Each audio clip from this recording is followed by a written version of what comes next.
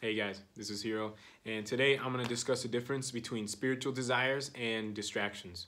Okay, so just a, a little quick um, note at the beginning. We tend to always note or kind of coin things as either good or bad. However, that's usually abstract and not always the absolute truth, right? So, for example, not all things that are bad are bad like in all aspect of things. For, and also, for example, not all things that are good are good in all aspect of things as well. Okay, so just a quick note, just like I don't know if you guys have seen the picture of like the yin and yang. In every bad, there's always a little bit of good, and every good, there's always a little bit of bad. Okay, and that's kind of like a key thing to understand for for anything in this life. Okay, now going back to spiritual uh, desires versus distractions. So when our soul like takes birth, it basically has certain desires that it wants or needs to fulfill. Okay and the extent to that fulfillment is based on your karma okay? Um, now these desires are not bad okay? You literally took this birth to fulfill certain desires okay? Now how society or how you know certain people label and judge those desires that's almost irrelevant. However it's important for you to fulfill those desires. However you don't want to get attached to how those desires are getting fulfilled okay? And that's kind of where the distraction part comes in. I'm going to tell you in a second.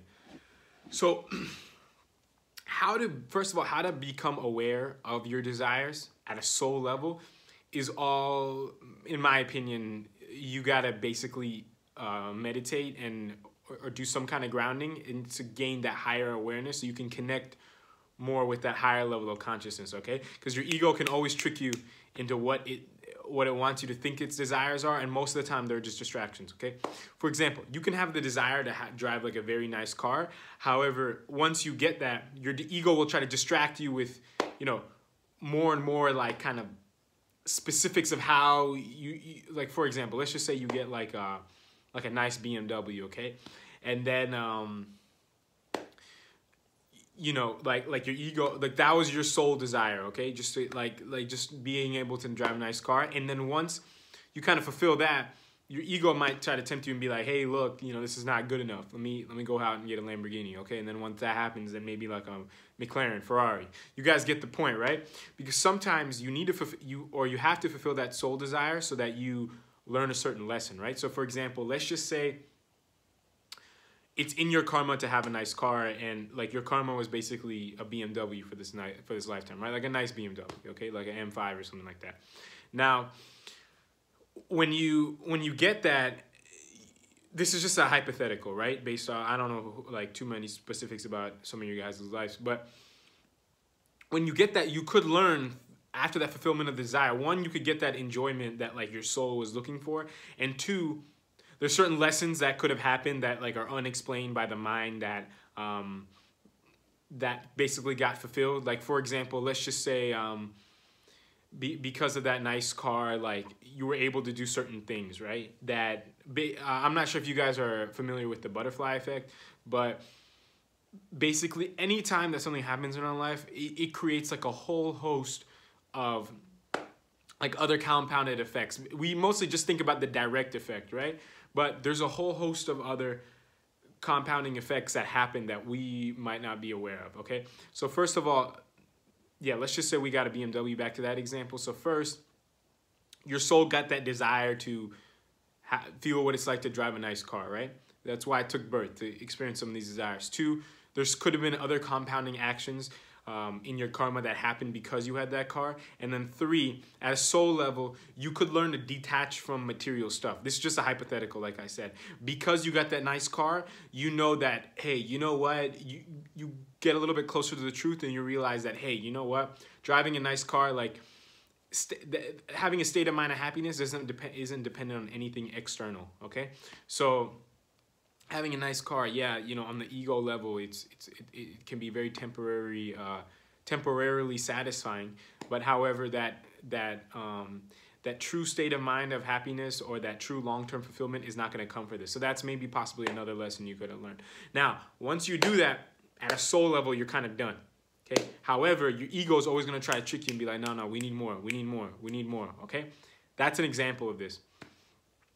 So and like I said, how you be how you be aware of kind of like where that desire level stops. That's you like I said, you got to just increase your awareness, and you'll kind of know. Okay. Uh, it, it's hard to explain like on a rational level, but rationally, all I can tell you to do is um, meditate more and gain that awareness, and then spiritually, you'll begin to be uh, have stronger awareness of where the distinction is between your desires and your distractions. Okay. One other thing could be, let's just say you want like a happy, um, like married life or something like this, right? Or like a happy relationship or something like this. Uh, like let's just say with somebody good looking, okay? So based on your karma, you'll get that to whatever whatever extent your karma is in, you'll get that. Now, what could happen is once you get whatever is in your karma, your ego could try to always convince you to get more, right? Like it's always gonna have, especially in relationships and stuff like that. You're always gonna have that mindset after a little while, after that ego high dies down, that you, the grass is greener on the other side. Okay. So, like I said, you, in order to distinguish between where that desire stops, that genuine soul desire stops, and it moving into that ego trick, ego distraction, that's gonna be dependent on um, you know, your karma. And the only way you're going to realize that is um, by how aware you are, right? Now, I'll give you an example of some something with like a not a good karma, right? There's like a famous story. Let's just say there's this one guy. Um, let's say that someone has a desire to be around a lot of attractive people um, like with the opposite sex, right? Like let's just say like you have you have two you have two genuine desires, one to be around a lot of money and two to be around a lot of people of the opposite sex, right? But let's just say if your karma's good, you'll get it like in that manner, okay? Like you'll have like in your next lifetime, for example, you can have plenty of good relationships, plenty of money flowing your way that that that's all yours, okay? Or that you know you can enjoy properly. Now, if you don't have good karma, I'll explain to you what that looks like, okay? So let's just say you, you wanted to be around a lot of money and you wanted to be around a lot of people of the opposite sex, right? Let's just say in the next life, I'm also born as a male. Okay? Now, what could happen is if I have bad karma, let's just say I could work, I could be a worker at a fancy hotel that like throws like, that's like in charge of like a lot of like beauty events. Okay? So you get what's happening, right? I'm, I'm working at the hotel I, am surrounded by a lot of money and I'm surrounded by a lot of good looking people of the opposite sex. However, it's not in my karma that like all of that is mine. Okay? I'm around it. My soul had that desire to kind of that, that like from an energetic, you know, like a law of attraction level, I I I maintain those things in this life. However, because of my karma, I wasn't able to, you know, get them kind of the exact uh, way that, you know, you would think of as far as like you know enjoying that money or you know being in like you know fruitful relationships with the people of the opposite sex okay? Stuff like that. So that's kind of an example of good versus bad karma okay? So in this example the person's car uh, you know desire still get still got fulfilled. It it's still like you still got what you wanted and you could still learn at a soul level hey you know like money and good looks and stuff you know you might notice that people with all this stuff, you know, genuinely might not be the happiest inside. Okay, you can still learn all that at a soul level, but however, for this person, the karma wasn't there to kind of enjoy that at the level that you know you might perceive that if you had that desire that this would be the extent that you can you know enjoy these kind of things right now however your ego is also going to oh in that situation let's just say i'm the worker in the next life at a hotel um, the ego is always still going to try to trick you, okay, into um, wanting more and more. So, like I said, no matter whether I'm I'm just a worker, I don't have any of the money or any of the or any of those, you know, good looking relationships or anything like that, I'm still gonna want more, but I can still always learn the lesson, okay, like that. Next life, let's say my karma is good and I have all that, yeah, I'm still gonna want more and I can still learn the lesson. That's the key, okay? No matter where you are, no matter how good or bad your karma is, quote unquote, good and bad, there's still an opportunity for everything in your life to learn the lessons, and your ego is still gonna always trick, want to trick you to want more. Okay, and so yeah, that's that. That's basically the lesson here. Um, from the desires, from whatever you're able to maintain based off of your karma, you're you're going to want to learn as much as possible from that as well as enjoy genuinely okay at a soul level and you're always going to want to understand that the ego is always going to try want to try to trick you into being at that lower state and always desiring more okay once you analyze those two, you'll you'll you'll notice everything that happens in your life. You'll you'll notice kind of that you're just a lot more accepting of what happens. Now, there could be an example, right? Like what happens if it's in my karma to kind of aspire after more, chase it and get it. Like what happens like for example, some people are born rich, some people have to work very hard to get rich, right?